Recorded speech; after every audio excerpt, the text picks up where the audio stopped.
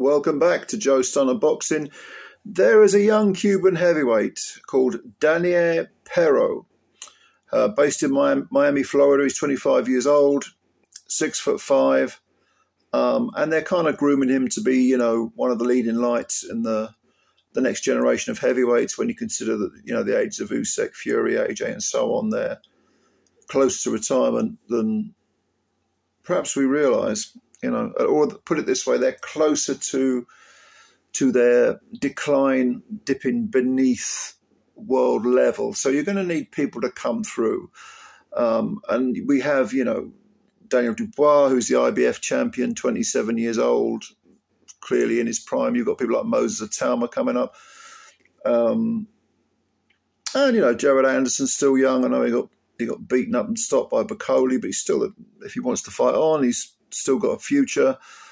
But Dainier Pero may well end up fitting into that new generation of heavyweights. I think the jury is still out, but he has shown quite a bit, quite you know, quite a lot. Got good skills, good technique, as you would expect from a, a Cuban from that background. Um, like I say, he's you know, orthodox. He's orthodox fighter, but he does he can fight like a lot of these Cubans. He does fight switch hit and fight um, he's ambidextrous.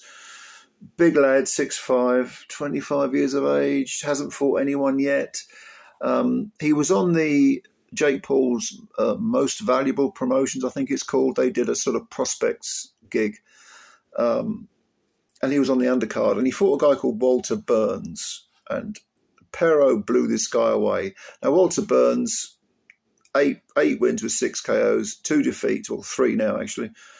Um, both the defeats were by stoppage. He got stopped in three by Joey Dawejko. He actually quit on his stool, I think. Um, prior to that, he retired um, also after the third round against a guy called Michael uh, Piriton. So the guy, and it, you know, 42 years of age, what do you say?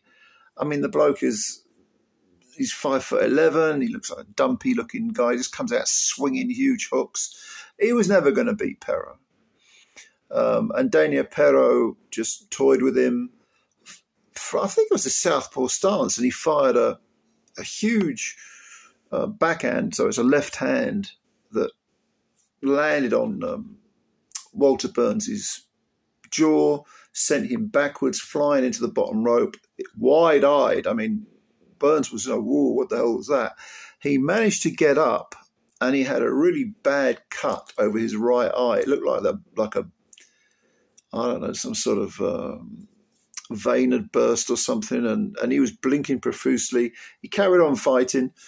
Um, Pero was just beating the hell out of him. Um, Pero scored a second knockdown.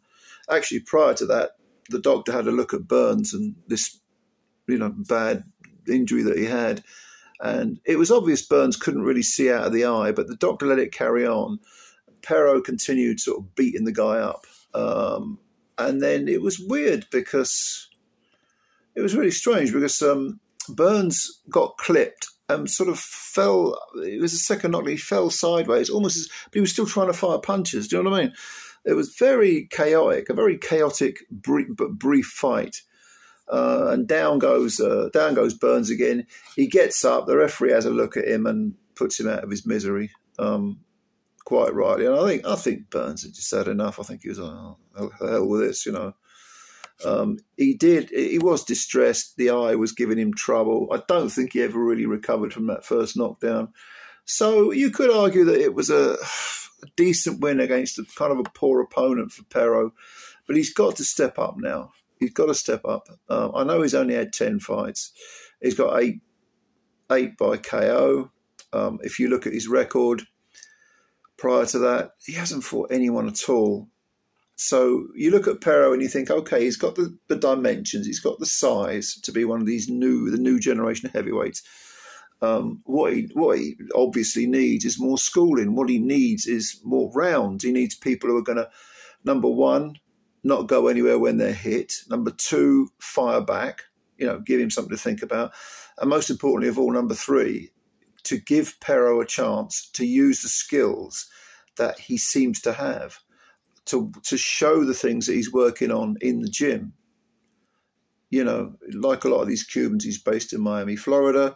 We've seen in the past that some of the Cubans that come over, they get a taste for the, you know, the high life, I suppose, the freedom, you know, the sun and everything, and they don't really live the life. Now, Pero doesn't seem to be one of those. He seems to be someone who is disciplined. He looked in good shape, but he's going to need people who take him round. He's going to need people who are going to, you know, give him something to think about that's the only way you learn because he's fought absolutely no one. And by beating up people like the Walter Burns um, of the world, he's not gonna he's not gonna learn, and he's not going to be able to show his skills. He's not going to be able to hone his skills, and he certainly won't get anywhere near world class. So even though the raw materials are there, I think that Dainier Pero is a long way off. You know, being classed as as world class or challenging for a fight uh, to, for a, a, heavyweight for a heavyweight title fight. I think he's a long, long way off that. The raw materials are there, but the jury is, to be honest with you, still out. Um, but we do need, you know, we do need heavyweights to come through. It, it's true that the older generation are, you know, walking off into the sunset, which is fine. You know, they've they've done their bit. AJ, Fury, Usyk, you know, all of them have had great careers. Usyk's a cast iron Hall of Famer. Um, Fury and AJ have had very, very good careers, made a shit ton of money, and won world titles on more than one occasion. But you need the next generation to come along. And the only way that you can do that is by giving them good opponents so they're learning. That's what Pero needs, in my opinion. You know. But I have to say this, you know, this Jake Paul show that was on this most valuable promotions thing. Yeah, I mean, it was they had some good fights on it, and you know, I'm, I'm even though I hated the Jake Paul versus Mike Tyson farce, I thought it was an absolute shit show. Nevertheless, some of the things that Jake Paul does with MVP are very, very positive for boxing. Um, very positive, especially women's boxing as well. He does a lot for women's boxing. I think he deserves a lot of credit for that. So, you know,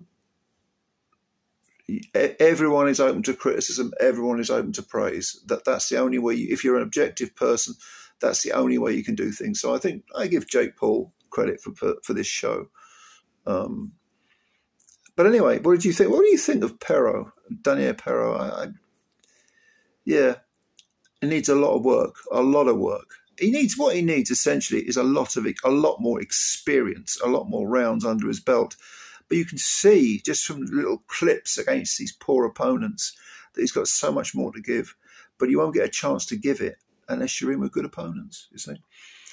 But anyway, thank you for watching this video. As always, uh, please leave your comments below if you've got any. I'd like to know what your opinion on Pero is. Um, and again, please hit the like button if you enjoyed the video and if you could subscribe to the channel if you're new, that'd be fantastic too because you help the channel out. And yeah, Thank you very much, ladies and gentlemen. As always, much love. Bye for now.